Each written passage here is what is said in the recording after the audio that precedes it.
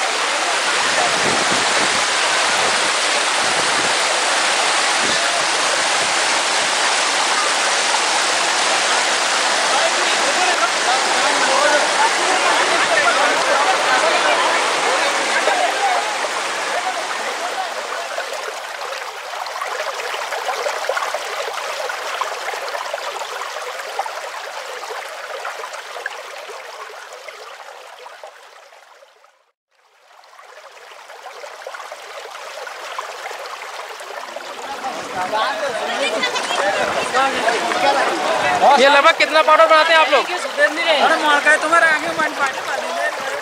पक्का लाने हैं जंगल से। हाँ।